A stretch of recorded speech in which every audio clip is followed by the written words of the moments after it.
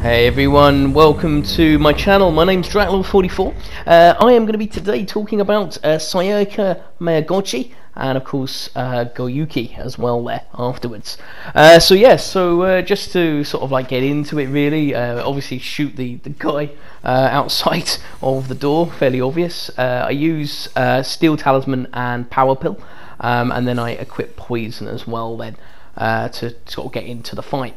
Now, in a moment, it'll go through just the uh, little trailer part, which uh, I always do like in the game. I think it's a uh, really, really good little feature. Nice that you've got your uh, costume on there as well, so always uh, decent. Um, I'll let that play, and then we'll continue from there and go through uh, the guide of what to do.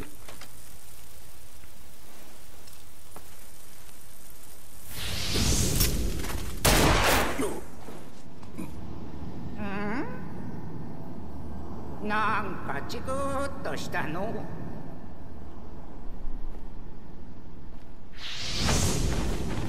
あんたもしょってんだな。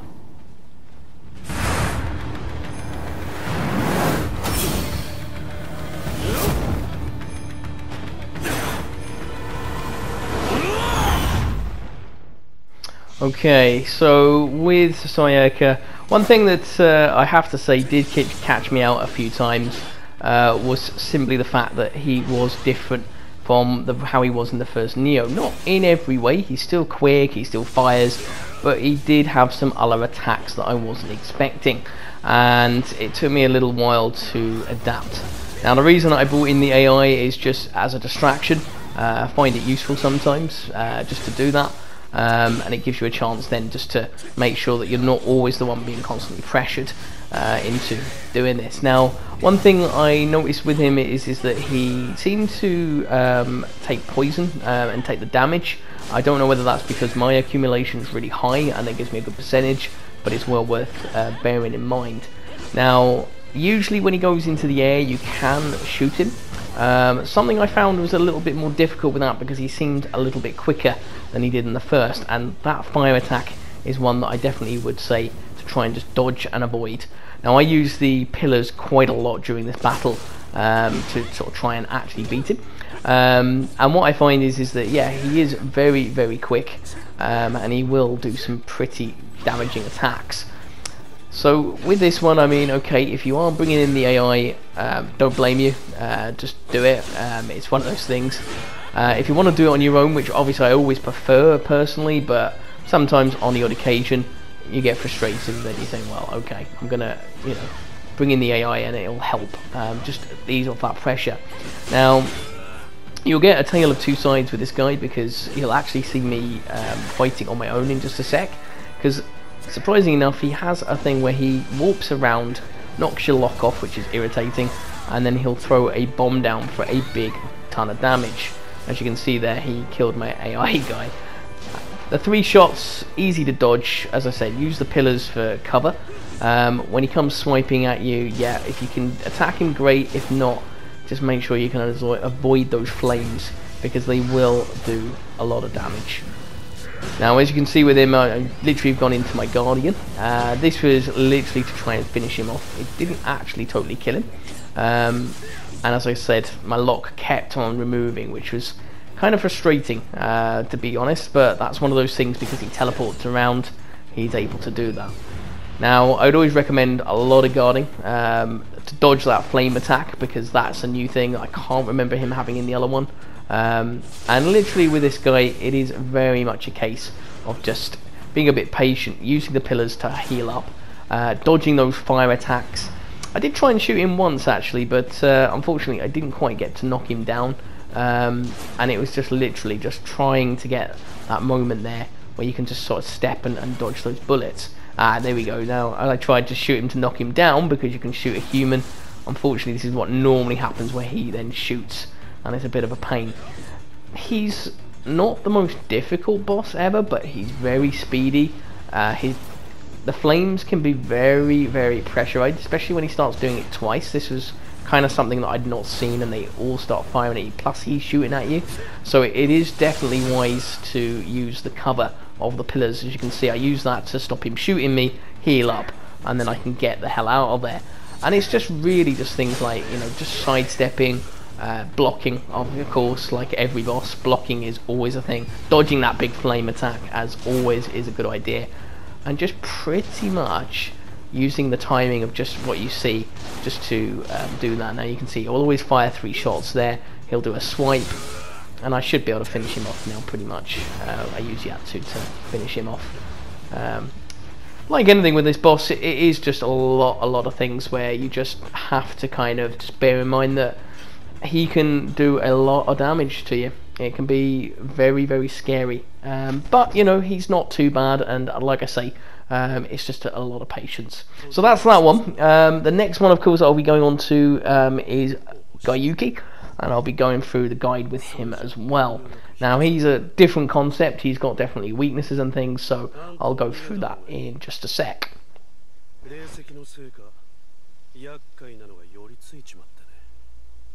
ここもじきに崩れる。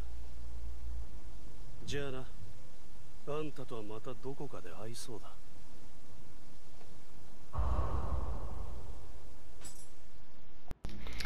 Okay, so with Gyuki, uh, after you get the key from Saika, you'll run out, you'll talk to uh, Hanbei, I believe his name is.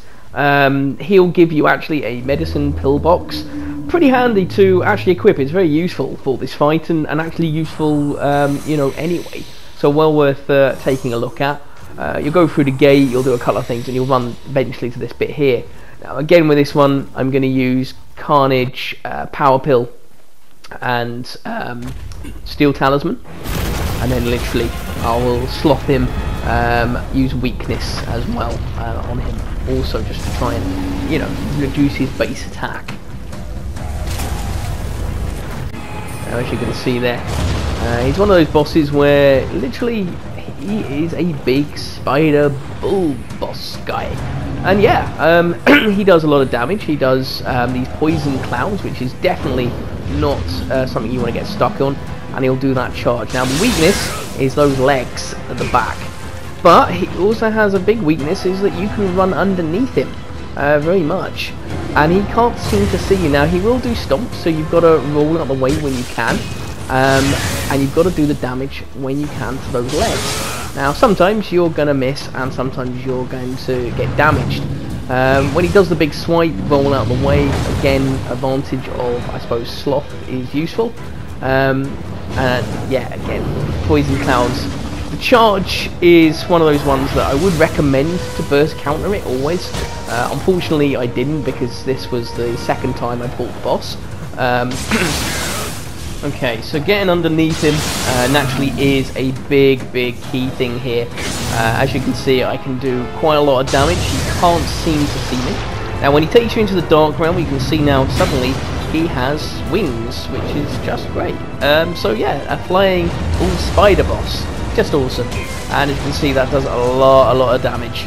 Uh, he's got poisoned as well, which is uh, never good. So I definitely keep antidotes on hand. Um, you can see it does a, quite a fair chunk of damage. Um, I literally found that the burst countering thing, I, I didn't really use it, but I literally went for the going underneath him and just picking those weak points of the legs as much as I possibly could. Now he's a boss that, you know, he can be very tricky if you don't know what you're doing against him. And this is one of the key things. So, as you can see, I mean, like, I'm rolling underneath, I'm trying to avoid his sight, trying to do damage um, as I can and chipping away at those legs. Um, at some point he staggers, but for some reason it wouldn't let me grapple when he did. I don't know why uh, it wouldn't do that, but anyway, now he takes me out in the dark realm. Now he does keep, actually interestingly, his wings, um, and he knocks quite hard. Uh, so I definitely recommend avoiding it or burst countering that 100%.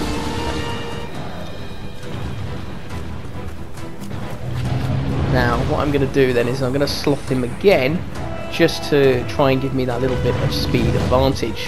Does a big swipe, you can roll forward out the way, um, and literally then roll underneath him, like I said. And this this really is a definite weakness of this particular boss. Now, as you can see there, it didn't let me grapple for some reason. Uh, I pressed triangle to do it, and it didn't work, so not sure what that one. But yeah, as you can see then, you really want to kind of just take the, the legs as much as you can. Avoid that big jumping stomp because that will do damage.